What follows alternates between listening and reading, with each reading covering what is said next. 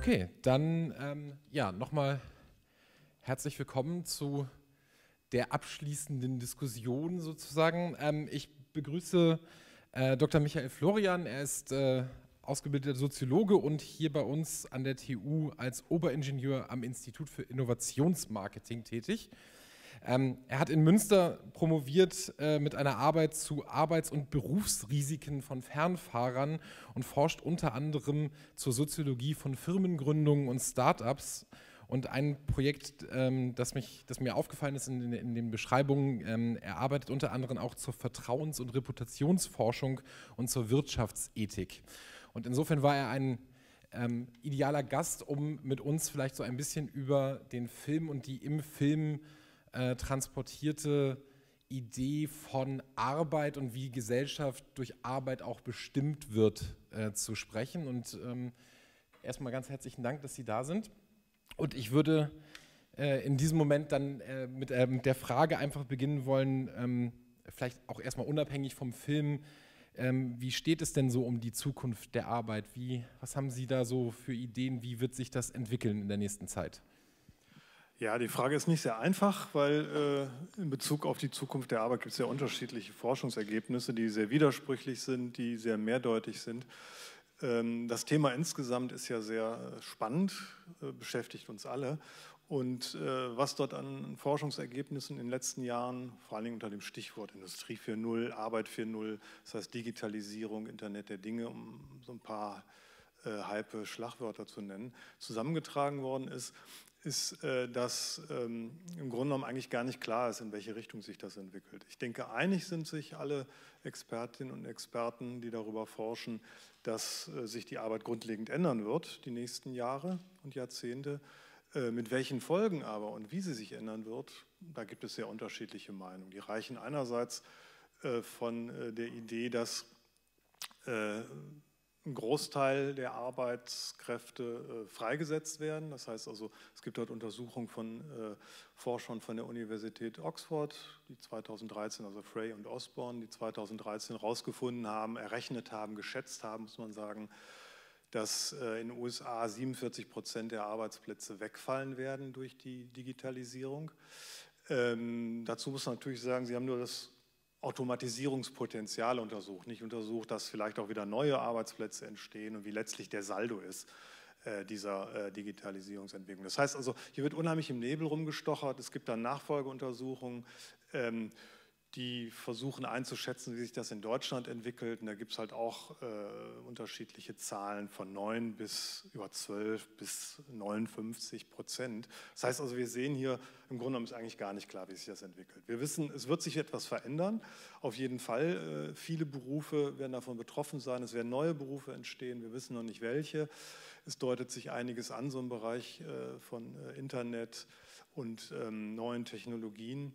Aber letztlich, welche Auswirkungen das hat für den Einzelnen, für ganze Berufe, wissen wir nicht. Prognosen sind äh, hier auch äh, nicht sehr verlässlich, weil, wie gesagt, wir steuern im Nebel rum und äh, können nicht einfach das, was sich in den letzten Jahren entwickelt hat, einfach in die Zukunft hinein verlängern. Äh, dafür sind viel zu viele äh, Dinge ungewiss, was äh, die Zukunft der Arbeit betrifft. Auch was die Zukunft äh, eigentlich der Gesellschaft betrifft, die ja sehr stark ähm, auch äh, von der Entwicklung der Arbeit abhängt.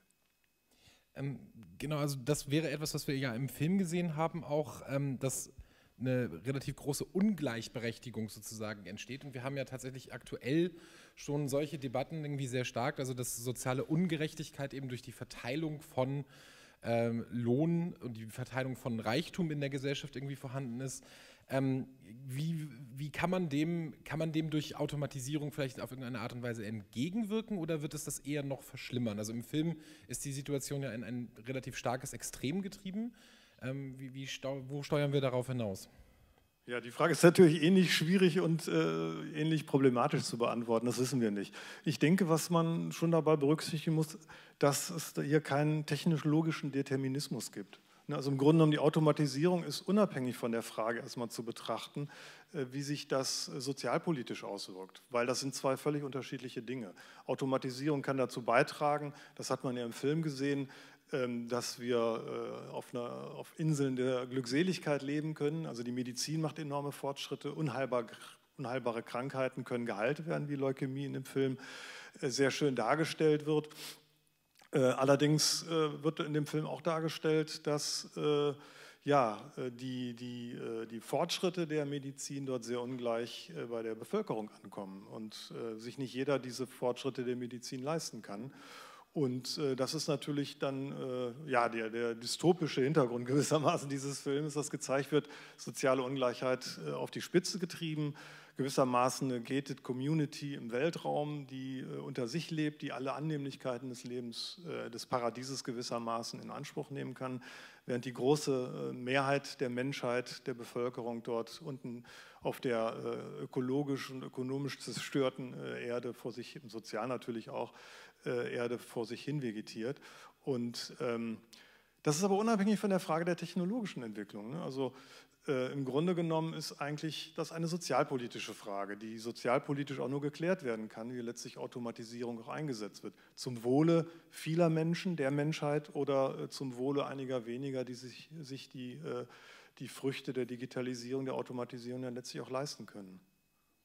Ähm ein Punkt, den der Film ja auch aufzeigt, ist, dass die Macht über solche Automatisierungsprozesse, über Digitalisierungsprozesse ähm, bei einigen wenigen liegt. Aktuell liegen wir ähm, in, in, in, Europa relativ weit hinten. Die großen IT-Konzerne sind in den USA ansässig und ähm, da wäre dann die Frage der Vertrauensbasis.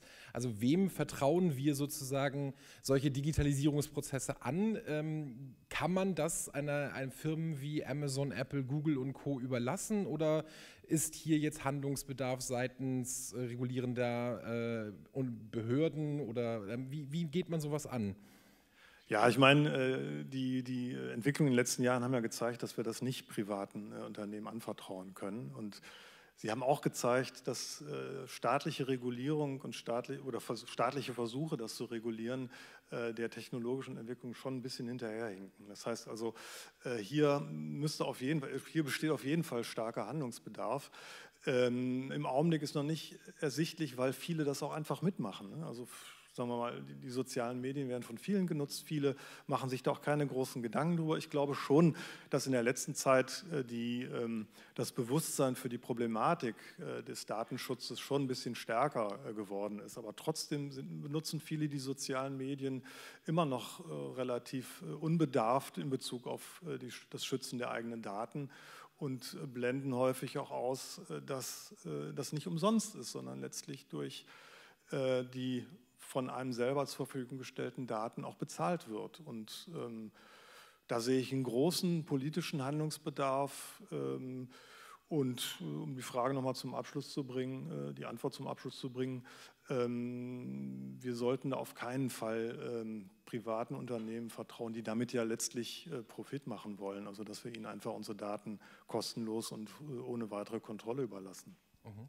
Ähm, Im Film sieht man relativ schön, dass ähm, Arbeit auf ganz unterschiedliche Art und Weise verstanden wird und auch auf ganz in unterschiedlichen Branchen ganz unterschiedlich stark automatisiert wird. Und ähm, da schließt sich für mich aus so einer wirtschaftsethischen Frage vielleicht auch an, ähm, wie man das im Film ja sieht, also ähm, Max, der, äh, der einen ungelernten Job als Tätigkeit hat und tatsächlich nichts weiter tut, als repetitive, sehr motorische Tätigkeiten wie Bleche irgendwo hinlegen. Also eigentlich ein ganz klassischer Arbeitsbereich für Automatisierung. Ähm, und auf der anderen Seite sieht man aber im Sicherheitssektor, also Entscheidungen, wo mit Menschen umgegangen wird, eine Automatisierung im Film, also ein genaues Umdrehen von dem, wo wir eigentlich aktuell in der Diskussion hinlaufen. Ähm, gibt es aus wirtschaftsethischer Sicht bestimmte Branchen, wo man vielleicht Automatisierung verhindern sollte, wo, man sie, wo sie vielleicht nicht angebracht ist? Ja, das wird ja im Film angedeutet. Ne? Also bei den, bei den Sicherheitskräften oder auch bei den, ähm, bei den Bewährungshelfern, also die im Grunde genommen beide äh, kein, also, also wo Maschinen ähnlich wie kleine Kinder Schwierigkeiten haben, Ironie zu verstehen. Wie dann letztlich äh, diesen ganzen, ähm, das ganze Probleme für Max dann äh, letztlich auslösen. Und ähm, das ist ein Bereich, da haben Sie völlig recht, dass äh, im Augenblick eher gesagt wird, die Berufe, wo ähm, soziale Intelligenz eine große Rolle spielen, wo, ähm, wo äh, menschliches Beisammensein, äh, die Interaktion zwischen Menschen eine große Rolle spielen, im Pflegebereich beispielsweise, wo es nicht nur darum geht, irgendwelche äh, Routinetätigkeiten zu machen, sondern auch auf Menschen einzugehen, emotionale Intelligenz, das spielt eine große Rolle und das können im Augenblick Maschinen noch nicht. Das ist in dem Film ja genau andersrum. Das haben Sie, äh, finde ich, sehr gut beschrieben. Ähm, was aber in dem Film auch deutlich geworden ist, dass es Bereiche gibt, völlig klar, die früher eigentlich sehr stark der Automatisierung ausgesetzt waren und die jetzt gewissermaßen völlig uninteressant sind für Automatisierung, weil die Arbeitskräfte dort so billig und so willig zur Verfügung stehen, dass es äh, wahrscheinlich wirtschaftlich für diesen Konzern, der dort dargestellt wird, überhaupt keinen Sinn machen würde, die zu rationalisieren, obwohl das total einfach zu rationalisieren wäre. Aber die Arbeitskräfte sind einfach so billig, dass da ein Robotereinsatz äh, bei der Produktion von Robotern gar keinen Sinn machen würde ökonomisch. Und äh, hier äh, die ähm, eher so komplizierte Bereiche, ähm, digitalisiert sind, also wie Sicherheitskräfte oder im medizinischen Bereich beispielsweise oder bei den Butlern, also Bereiche, die heute sich sehr stark der Digitalisierung noch ähm, entziehen, wo die Fortschritte in Anführungszeichen der Digitalisierung also noch sehr stark hinterherhinken hinter dem industriellen Bereich. Also da steckt sozusagen die Idee hinter, dass Industrialis also das Digitalisierung und Automatisierung vorangetrieben werden, insbesondere durch die Logik des Marktes. Also dort, wo es sich lohnt zu digitalisieren, ähm, dort wird die Digitalisierung auch stärker vorantreten und dort, wo es sich eher nicht lohnt, äh, ähm, wo also Arbeitskräfte irgendwie billig genug vorhanden sind, äh, wird auch keine ökonomische, äh, ähm, kein ökonomischer Imperativ dahinter stehen, das auch tun zu müssen. Ja, ich denke, das ist äh, in dem Film sehr schön deutlich geworden. Ich glaube, das ist auch ein Trend. Das ist sicherlich nicht der einzige Trend, dass es äh, immer nur um die Frage des Profits geht. Ich denke, Staaten, und das ist im Film auch deutlich geworden, Staaten haben auch ein starkes Sicherheitsinteresse. Und äh, hier die Militärtechnik ist ja auch sehr weit fortgeschritten. Ähm, und von daher denke ich, dass man da nicht nur auf, auf Unternehmen gucken muss, inwiefern das dort das, äh, der Markt, die Marktlogik oder die Profitlogik hier äh, wirksam wird, sondern da spielen natürlich staatliche äh, Interessen und staatliche Begehrlichkeiten in Bezug auf neue Technologien, auf Digitalisierung, auf Robotertechnologien natürlich auch eine sehr starke Rolle. Ähm, das ist ein, ein gutes Stichwort. Der, der, Film zeigt ja relativ deutlich, dass ähm, Staaten ein erhöhtes Sicherheitsinteresse haben, weil die Ungleichheit irgendwie existiert. Wir liegen im Moment bei so einer 5%-Rate und reden ähm, insbesondere in Deutschland, aber in den USA mittlerweile auch, ähm, von, von einer Art Vollbeschäftigung für Leute, die aber ja trotzdem soziale Ungerechtigkeit nicht einfach ausräumt. Wenn wir jetzt aber davon ausgehen, dass wir sagen, wir nur mit einer Rate von 50 Prozent Automatisierung auf einmal vorlieb nehmen müssen, dann würde das bedeuten, dass wir eine ganze große Anzahl von Menschen haben, die in unserem System, das sehr, sehr stark auf Konsum basiert, auf einmal keine Rolle mehr spielen. Und der Film extrapoliert es hier natürlich auf eine sehr extreme Art und Weise, aber wenn man sich Rhetoriken anhört, wie etwa zur Zeit von Donald Trump bezüglich der Karawane, die gerade durch Mexiko zieht, also die er Karawane nennt, die, die Flüchtenden dort irgendwie durch Mexiko, ähm, welche Möglichkeiten bestehen denn da drin oder wie, wie reagiert ein ökonomisch stabiles System in den Momenten, wo es durch so etwas wie zu viele Arbeitslose instabilisiert wird? Also was für Möglichkeiten gibt es da, darauf zu reagieren? Die im Film sind ja nun sehr extrem. Gäbe es da andere Möglichkeiten gegenzusteuern? Ja, ich denke schon, weil äh, der Punkt ist ja der, nicht nur wie Reichtum verteilt wird, sondern auch wie das Arbeitsvolumen verteilt wird. Also wenn äh, wir davon ausgehen würden, also dieses Extremszenario halte ich für, äh, zumindest auf absehbare Zeit, für äh, übertrieben, aber wenn wir davon ausgehen würden, dass jeder zweite Arbeitsplatz ähm, der Automatisierung zum Opfer fällt, würden dadurch ja unter idealen Bedingungen, äh, Weiterbildung, ähm, äh, Höherqualifizierung und so weiter, unheimlich, unheimlich starke menschliche, kreative Kräfte eigentlich frei, die jetzt nicht mehr äh, irgendwo in langweiligen, ähm, routinisierten Tätigkeiten gewissermaßen festgeschnallt werden, im Büro oder in der Fabrik. Und dieses Potenzial könnte ja durch eine Arbeitszeitverkürzung beispielsweise geweckt werden, dass also die Arbeit, die das Arbeitsvolumen, was vorhanden ist, auf mehr Schultern verteilt wird, denke ich, würde alle zu, allen zugutekommen, äh, die dann auch entsprechend nicht mehr äh, 39,5 Stunden oder wie viel auch immer in der Woche bei einer vollen Beschäftigung tätig sein müssen, sondern entsprechend weniger mehr Zeit hätten für Freizeit, für familiäre Belange, für ehrenamtliche Tätigkeit oder was auch immer dort äh, Sinnvolles gemacht werden könnte. Ähm, tatsächlich ist es ja so, dass also die, die Entwicklung, die wir da sehen, ähm, wird von Soziologen ja aktuell sehr wohl auch schon kritisch betrachtet. Also es gibt die Betrachtungen von Sigmund Baumann, der hier von äh, ähm, überflüssigem oder verschwendetem Leben spricht, irgendwie von Leuten, die nicht mehr teilhaben können. Ähm, wenn wir also diese Möglichkeiten hätten, hierzu entgegenzusteuern und halt eben ähm, durch ein anderes Verständnis von Arbeit äh, nämlich Arbeit nicht mehr als notwendigerweise äh, ähm, dazu da, eine, eine, eine bestimmte Menge von Gehalt zu produzieren, damit man am Warenkreislauf teilnehmen kann, müsste es dann nicht äh, aus der Gesetzgebung heraus Alternativen geschaffen werden, wie Menschen halt eben äh, trotz geringerer Arbeitszeit eventuell dann äh, weiterhin am Leben teilhaben können?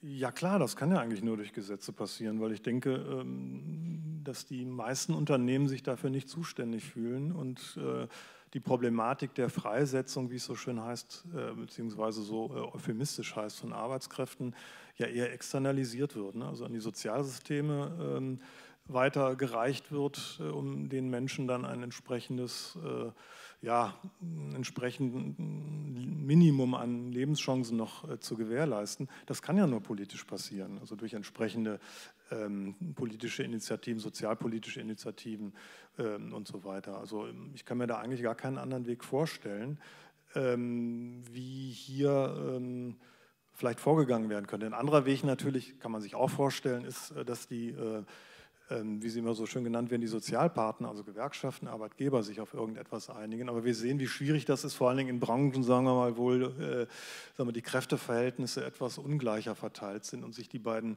Tarifvertragsparteien nicht auf Augenhöhe begegnen oder wo äh, eine entsprechende ähm, kollektive Interessenvertretung gar nicht stattfindet, weil das Bereiche sind, die traditionell sehr schlecht äh, gewerkschaftlich organisiert sind. Also das wäre natürlich auch eine Möglichkeit, dass hier Arbeitgeber, Gewerkschaften sich zusammentun und versuchen, Lösungen zu finden.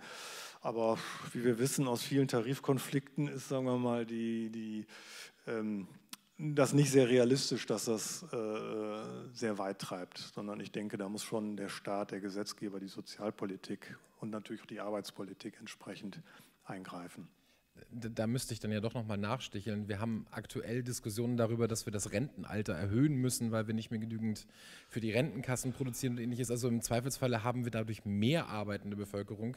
Äh, und wir haben aktuell tatsächlich die Situation, dass viele Leute mit dem Grund, äh, ihrem Grundarbeitsjob nicht mehr auskommen, stattdessen einen Zweit- oder Drittjob brauchen oder ähnliches. Der, der schöne Spruch von Herrn Spahn, also wer äh, ähm, wer genügend arbeitet, irgendwie, der bräuchte auch keinen Zweit- oder Drittjob. Ähm, da scheint Politik ja dann doch eher in eine andere Richtung zu denken aktuell. Ja klar, das ist aktuell so. Und ähm, ich bin auch nicht so naiv zu glauben, dass sich das ganz einfach von heute auf morgen ändert. Aber das ist nun mal der erste Ansprechpartner.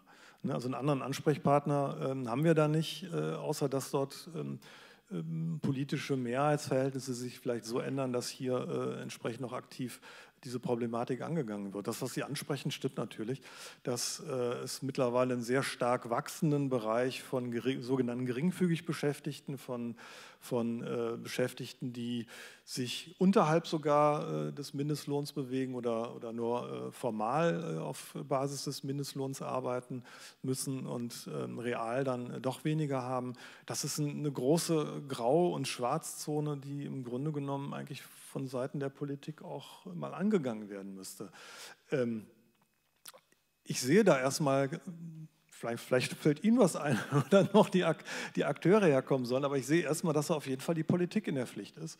Und da muss ja auch immer wieder daran erinnert werden, dass hier entsprechend von politischer Seite äh, Maßnahmen angegangen werden müssen, um diese äh, Prozesse ähm, so zu gestalten, dass man von einer vollen Stelle auch leben kann. Das Ganze wird ja noch schlimmer. Ne? Also davon ausgehen, äh, dass ähm, jemand, der 35 oder 40 Jahre in einer Vollzeitstelle gearbeitet hat, auch, sagen wir mal, mit, wie das äh, letztes Jahr war das, glaube ich, diskutiert worden ist, dann mit 2500 Euro ähm, Bruttoverdienst äh, dort arbeitet was ja erstmal sich gar nicht so schlecht anhört, dann äh, irgendwann, wenn es an, an, die Rente geht, dann im Grunde genommen von der Grundsicherung leben muss. Also das sind auch also Dinge, die man im Grunde genommen eigentlich ja den sozialen Sprengstoff eigentlich äh, deutlich machen, der darin liegt und der uns in den nächsten Jahren sicherlich dort ähm, zu erwarten droht, wenn dort nicht eingegriffen wird. Ähm vielleicht nochmal abschließend, im Film wird natürlich eine Methode gezeigt oder ein, ein, ein Weg aufgezeigt, über den wir im Moment relativ wenig äh, in Deutschland nachdenken. Vielleicht so ein klein bisschen. Also der, der Weg, der hier aufgezeigt wird, ist einer der, des radikalen Umbruchs, einer des komplett Andersdenkens, einer, der in Filmen natürlich auch mit Gewalt verbunden ist, also irgendeine Form von Revolution. Wir sehen aktuell äh, eine die vielbeschworene Spaltung der Gesellschaft. Wir sehen Proteste auf den Straßen, die auch aggressiver werden. Ähm, laufen wir auf so etwas wie einen, auf eine Revolution hinaus, in der ein, eine Art Umsturz des Systems irgendwie unabwendbar ist? Schon wieder so eine schwierige Frage, ähm, die nur sehr schwer zu beantworten ist. Ähm, die Frage ist auch, glaube ich, nicht nur die, ob eine Revolution stattfindet, so wie sie im Film dargestellt ist, wo wieder ein Held äh, äh, zum Menschenfreund wird und dann letztlich, ja, so in dieser Parabel dann das Nilpferd wird und, und sich daran erfreut, also jetzt äh, die kleine Mathilda kennengelernt zu haben, ihr helfen zu können, dass sie da an die Früchte äh, der, äh, der Bäume rankommt.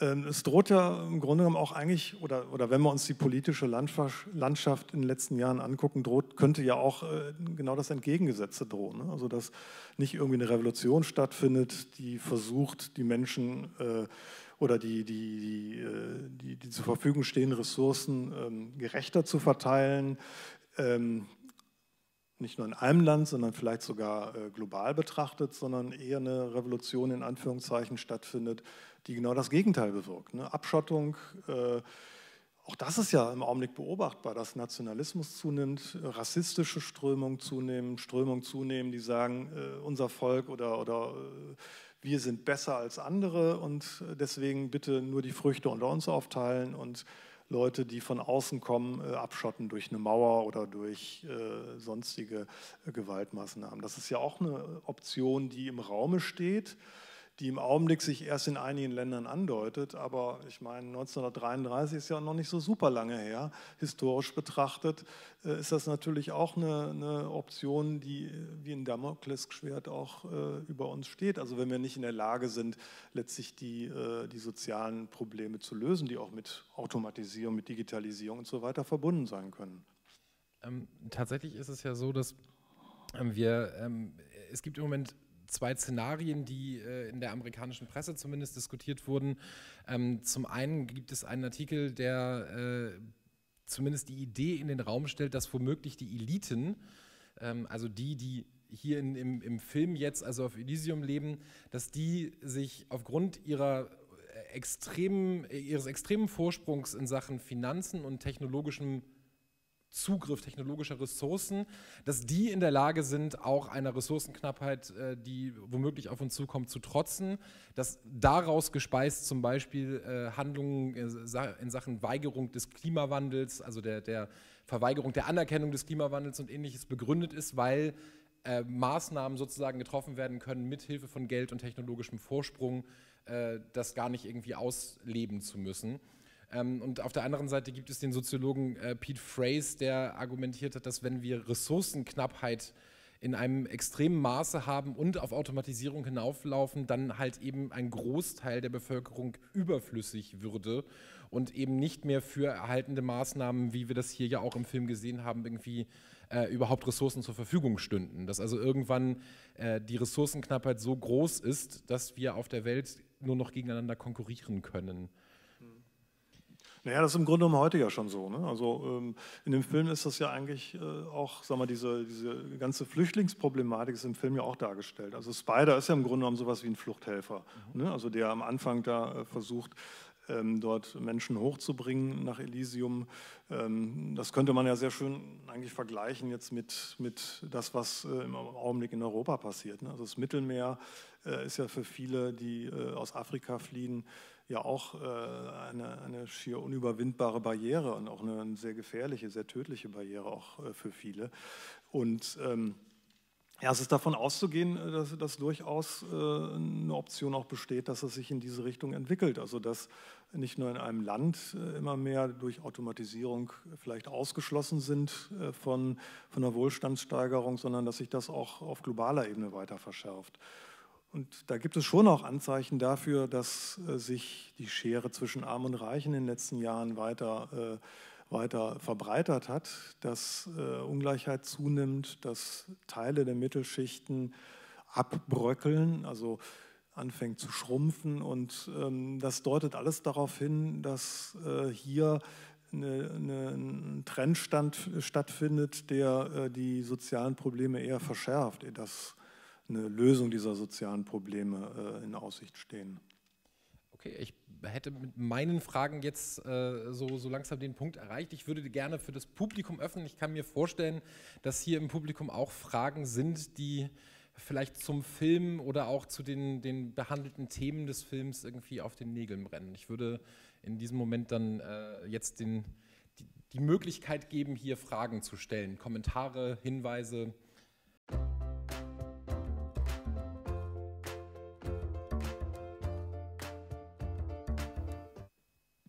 Ich würde sagen, beides ist wichtig. Ähm, ich glaube nicht, dass einzelne Individuen für sich genommen äh, die Welt verändern können. Also das sehen wir im Prinzip ähm, bei der, bei der Frage des Klimawandels. Ich denke, jeder von uns kann eine ganze Menge tun, aber wir können trotzdem davon ausgehen, dass das, ähm, so wie es im Augenblick aussieht, nicht ausreicht. Das heißt, wir müssen Menschen erreichen, andere erreichen, davon überzeugen, dass sie die Problematik ähnlich erkennen wie wir und nicht äh, davon ausgehen, dass äh, der Klimawandel nicht vom Menschen beeinflusst wird oder nicht negativ beeinflusst wird.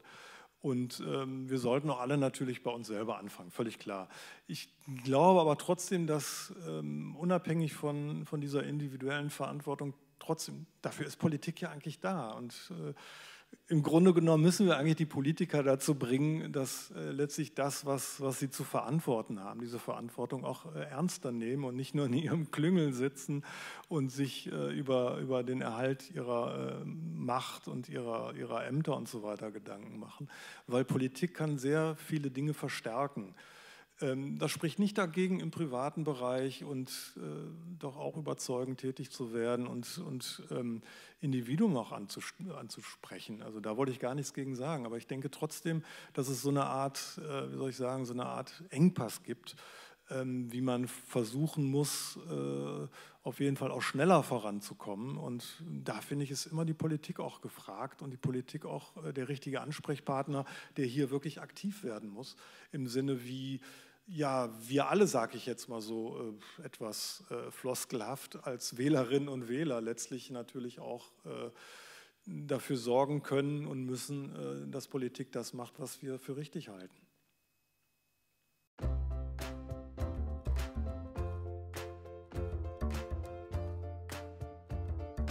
Ja klar, das ist, ist ja eigentlich Demokratie. Ne? Also Demokratie sollte ja eigentlich nicht bedeuten, äh, oder nicht da enden, dass man sagt, okay, wir geben alle vier Jahre unsere Stimme ab und damit ist die Sache erledigt und ähm, gucken dann vielleicht im Fernsehen mal, was dann die Politiker daraus machen, sondern solche basisdemokratischen Prozesse, die Sie ansprechen, halte ich für sehr wichtig. Auch äh, wichtig als eine Grundlage dafür, dass sich in der Politik was ändert. Aber ich finde immer, man muss beides haben. Ne? Man muss das auch nicht gegeneinander ausspielen, sondern man muss diese basisdemokratischen äh, Prozesse fördern und gleichzeitig aber auch die Politik in die Verantwortung nehmen, dass äh, das, was passiert, was, was gemacht wird, ähm, dass es nicht dem entspricht, wie letztlich Probleme gelöst werden. Probleme in dem Sinne gelöst werden, wie wir uns das vielleicht vorstellen, wie wir das gerade diskutieren. Also weniger äh, soziale Ungleichheit, ähm, ein Umgang mit, mit Digitalisierungsprozessen, der den Menschen zugutekommt und nicht nur darauf ausgerichtet ist, dass man den technischen Fortschritt weiter vorantreibt, für wen, äh,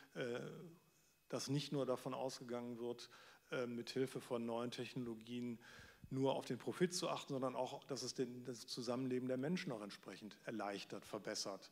Und ähm, ich denke, für, für, äh, für so eine, eine Trendentwicklung braucht man beides. Basisdemokratie plus Politik, verantwortliche Politik, die gewissermaßen von oben, in Anführungszeichen, hier entsprechende Akzente setzt.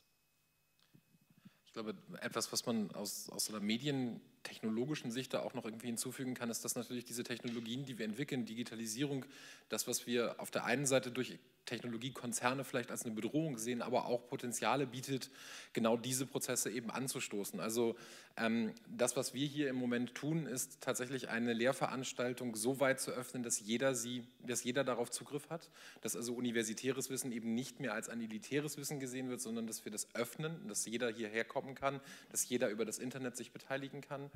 Ähm, und auf der anderen Seite sieht man das eben auch in sozialen Bewegungen, dass halt ähm, digitale Technologien äh, tatsächlich Revolutionen anstoßen kann. Also dass äh, ähm, Entwicklungen wie etwa der arabische Frühling irgendwie nur dadurch möglich waren, dass solche Technologien vorhanden sind.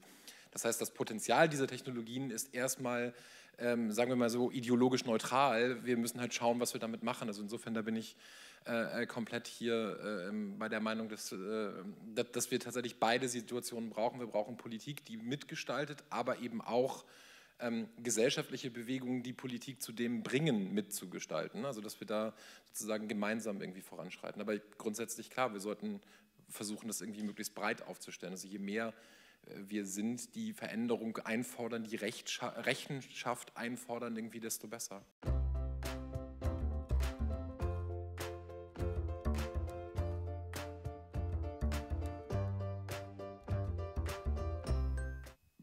Beide Punkte sind sehr wichtig, äh, die Sie angesprochen haben. Äh, sowohl die Gewaltenteilung, äh, dass die funktioniert, ähm, als auch das mit der Bildung. Also halte ich auch für sehr wesentlich.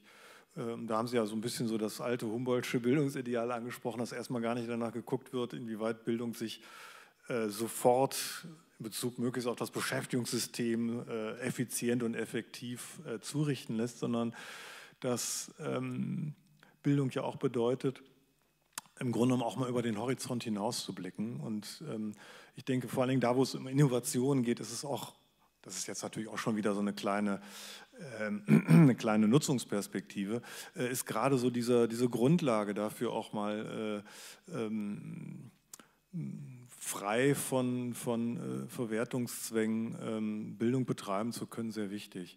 Bildung ist auch, das ist so ein kleines Bonmot so aus der äh, Demografieforschung, Bildung ist eines der wichtigsten Verhütungsmittel. Ne? Also in Bezug auf, äh, auf äh, Bevölkerungswachstum äh, in, in, Gegenden, die, äh, wo die Frau sehr stark von Bildung ferngehalten wird und ähm, auch für die, für die Gleichberechtigung, Emanzipation der Frau spielt das eine sehr große Rolle. Ne? Also das sind alles ganz viele Ansatzpunkte, die an Bildung hängen äh, die, wo ich das nur unterstützen kann, was Sie sagen. Also ich halte das für sehr wesentlich und äh, es wird auch sehr wesentlich, nicht nur unter diesem Aspekt des Humboldtschen Bildungsideals, sondern auch ähm, das, äh, vielleicht das Argument um, um Automatisierung auch ähm, sagen mal, den Automatisierern schmackhaft zu machen, in dem Sinne, dass äh, es keine automatisierten Systeme gibt, in denen nicht irgendwo Menschen an irgendeiner Periph sei es an der Peripherie oder sei es dort, wo es um Störung geht, eingreifen müssen. Das heißt also auch, um solche automatisierten Systeme lauffähig, funktionsfähig zu machen, brauchen wir Menschen, die in der Lage sind, diese Systeme zu begreifen und dort entsprechend eingreifen zu können. Auch eine Form von Bildung. Also Bildung ist im Grunde genommen sehr breit aufgestellt und ist ganz wesentlich, um da auch äh, Zukunftsfähigkeit, Nachhaltigkeit auch äh, ja, möglich zu machen. Ja, ich würde da auch kurz anschließen und, und vielleicht nochmal darauf hinweisen, dass wir natürlich ähm, bei Bildung auch hier äh, ähm, natürlich einen ganz wesentlichen Punkt sehen, wo soziale Ungerechtigkeit auch ähm, sozusagen eingraviert wird quasi in die Gesellschaft, ähm, dass wir also auch ähm, heutzutage Studien ja haben, in denen ganz klar gezeigt wird, dass wir immer noch nicht da sind, ähm, gleiche Chancen durch Bildung zu produzieren. Also da, wo sozial schwache äh, Gesellschaftsteile sind, steht die Chance, dass Bildung erreicht wird, halt einfach immer noch schlechter, sodass also nicht nur, wie jetzt im Film dargestellt, Gesundheit ein ganz wesentlicher Punkt für Ungleichheit ist äh, oder Arbeit, sondern dass eben auch Aspekte wie ähm, wie Obdach oder aber eben auch wie, wie äh, Bildung ganz zentrale Punkte darin sind, um eine Gesellschaft gerechter zu machen. Ähm, und würde dann hier nochmal den, den Hinweis geben wollen, dass vielleicht Technologie und Digitalisierung dazu natürlich auch ihren Teil beitragen kann. Wenn sie richtig eingesetzt wird und tatsächlich Möglichkeiten, innovative Möglichkeiten bietet, dann kann äh, da natürlich äh, Technologie helfen, auch einfach die Ungerechtigkeit zu, zu, hoffentlich zu verhindern oder in irgendeiner Art und Weise wieder auszugleichen.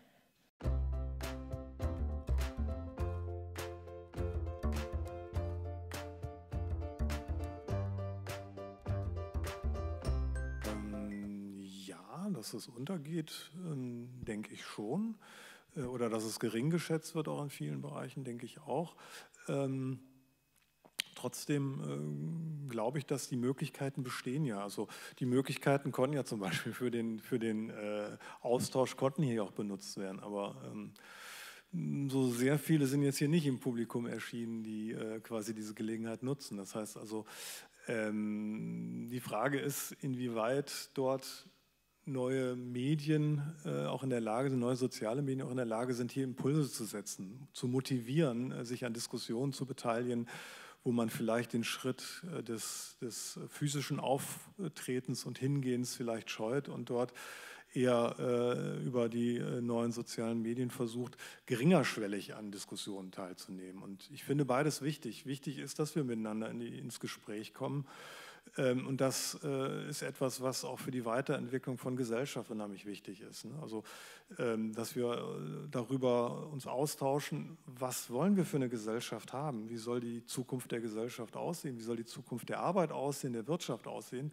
Da wird zwar immer wieder so in, in äh, Hochglanzveranstaltungen, hätte ich fast gesagt, darüber diskutiert, aber es ist nicht etwas, was so so eine breite Diskussionskultur in, in der Bevölkerung fördert. Und, und äh, da denke ich, müsste man auch drüber nachdenken, sicherlich über Bildungsprozesse.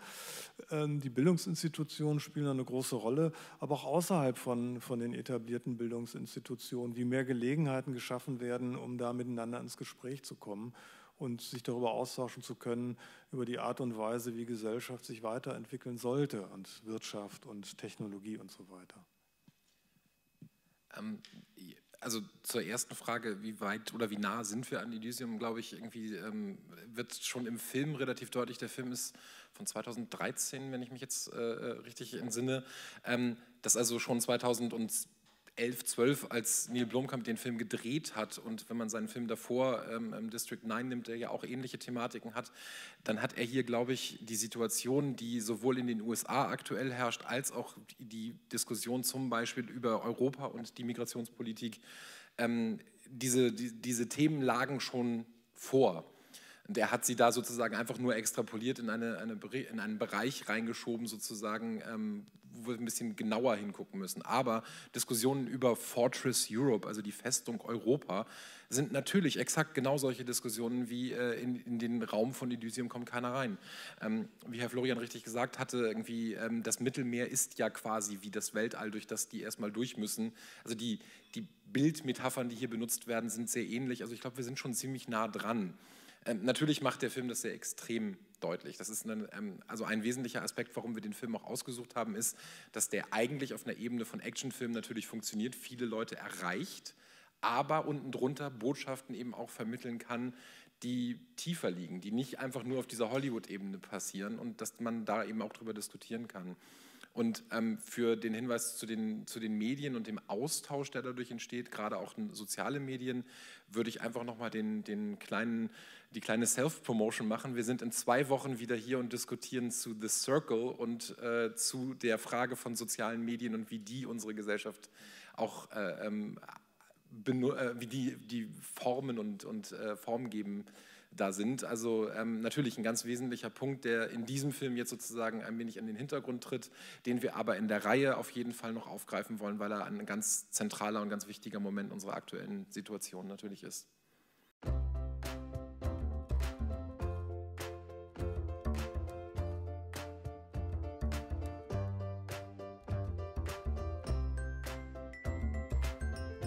Naja, was bleibt ihm anderes übrig? Ne? Also ich nicht nur die Frage, äh, also sagen wir die final, aus meiner Sicht final liegendere Frage ist, warum geht er da äh, in, in diesen gefährlichen Raum rein, wo die Strahlung existiert?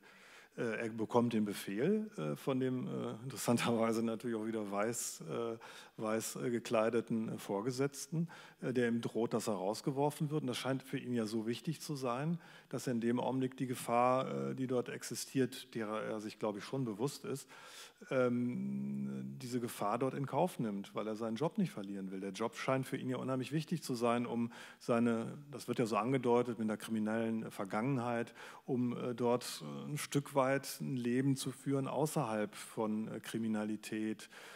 Ähm, wahrscheinlich Drogensucht und wer weiß, was da alles noch dranhängt. Ne? Also ein Rattenschwanz an, an Problemen. Und ähm, wenn man in so einen Prozess dann äh, letztlich eingebunden ist, ähm, ja, dann wird so eine Entscheidung getroffen, also das gewissermaßen gegen die eigene, gegen die Vernunft, äh, den eigenen Körper zu schützen vor den Gefahren dort, äh, geht er dort rein, um diese blöde Palette dort äh, so hinzustellen, damit die Tür sich schließen kann und der Prozess weiterläuft.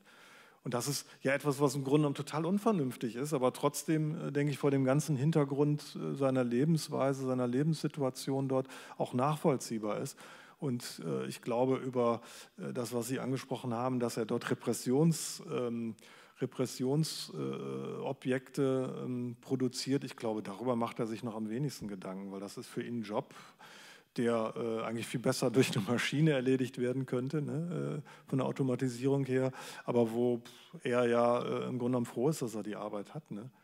Und ähm, so kleine Fluchten, die er sich da mal gönnt, wie das mit der Ironie, äh, schlagen dann so erbarmungslos zurück, dass man sich denken kann, eigentlich müsste er ja wissen, was dort passiert und hätte er sich da in dem Augenblick nicht besser zurückhalten können. Aber es ist so, ne? also das Leben ist manchmal einfach so, dass, äh, dass man Dinge tut, die man hinterher vielleicht bereut, aber in dem Augenblick äh, ist die Situation so, ähm, dass man einerseits bei dieser Ironie, dieser Ironie gegenüber dem, äh, diesem ähm, Roboterpolizisten dann äh, auch mal so eine kleine subversive äh, Tätigkeit unternimmt und andererseits, wo es ums eigene Leben geht, dann auch ähm, ja, dort reinspringt.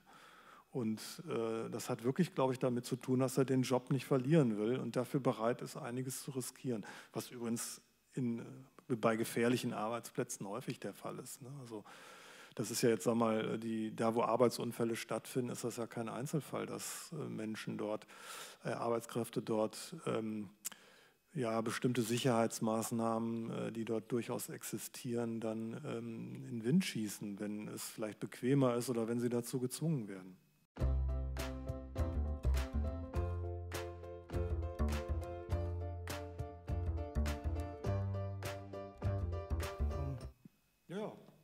Aber es, ist, äh, aber es ist halt ihr Job ne? und sie gehen für ihren Job auf die Straße.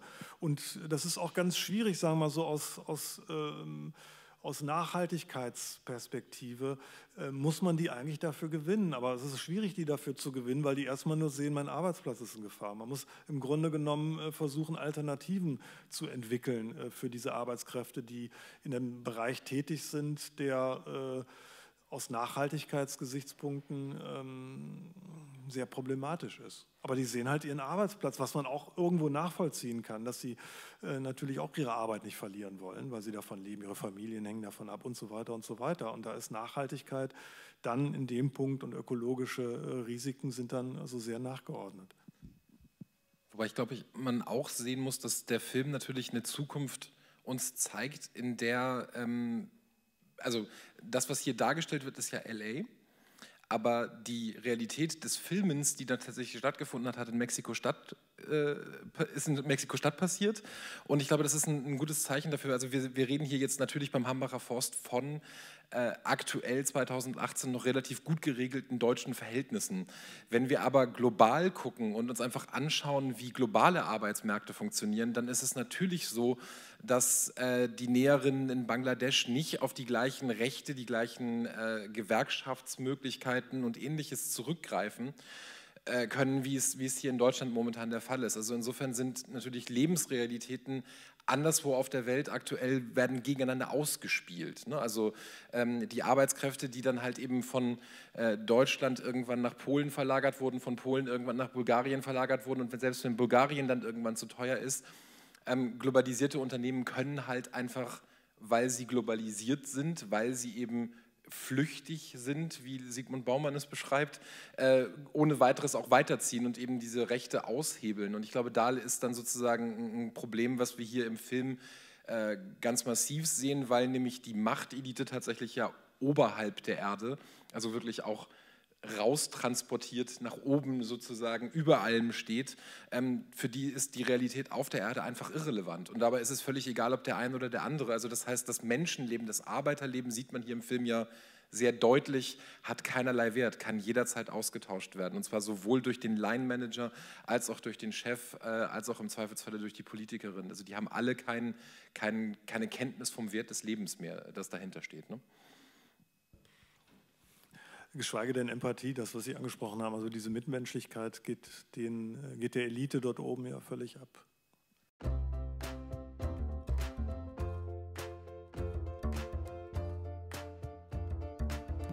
Ich denke, ähm, das, was wir, was wir vorhin schon andiskutiert haben, ne? also miteinander ins Gespräch kommen, äh, Impulse geben, ähm, vielleicht Aha-Erlebnisse vermitteln, Gelegenheiten schaffen, ähm, dazu motivieren, sich äh, Gedanken zu machen über Dinge, über die man sich im Alltag so normalerweise keine Gedanken macht, wie äh, wo kommt eigentlich das, die Jeans her, die ich trage? Und äh, wie viele tausend Kilometer hat die gemacht, welche Näherinnen äh, haben äh, an der Jeans gearbeitet, unter welchen Bedingungen und so. Das sind ja alles Punkte, die sind ja eigentlich bekannt, aber die meisten ähm, wissen das nicht, wollen das nicht haben, wahrhaben oder, oder interessieren sich nicht dafür. Und da äh, ist es natürlich schon sinnvoll, ähm, durch persönliche Gespräche, wie Sie das geschildert haben, äh, hier mit Menschen in, ins Gespräch zu kommen und äh, versuchen, dort ein Stück weit hm, Bewusstseinsbildung im Kleinen, das ist jetzt nicht negativ gemeint, im Kleinen schon anzustoßen oder durch so eine Veranstaltung hier vielleicht auch einen Impuls zu setzen und ähm, äh, etwas mehr Menschen zu erreichen, vielleicht auch bei einer Ver mit Veranstaltungen, äh, die, die da äh, noch ein bisschen besser besucht werden, dann entsprechend noch quasi über solche Multiplikatoreffekte auch vielleicht etwas in Gang zu setzen.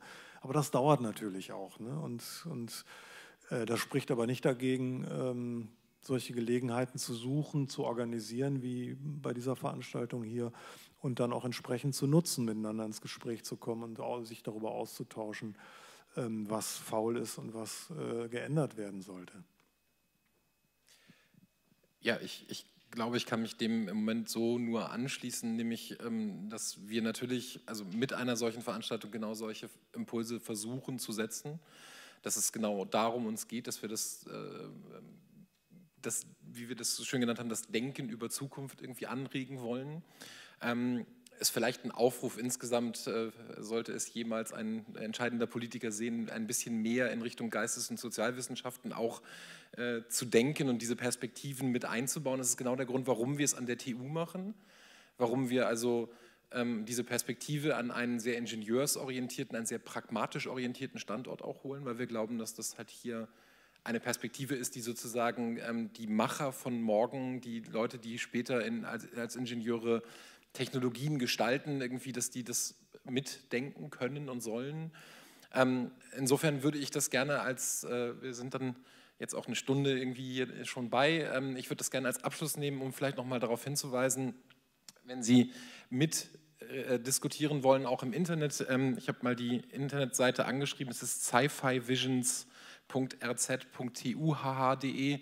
Dort ist ein kostenloser Online-Kurs, der sich genau mit diesen Fragen irgendwie auseinandersetzt, noch etwas erweiterter als das, was wir hier tun.